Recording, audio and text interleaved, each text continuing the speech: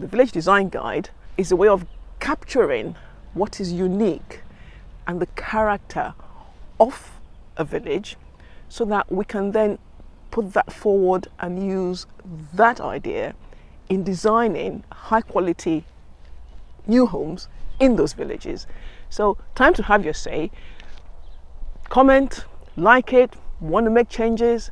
This is the time to do that. We are listening. The actual document itself can be used by de designers and developers and planners when they're making planning decisions.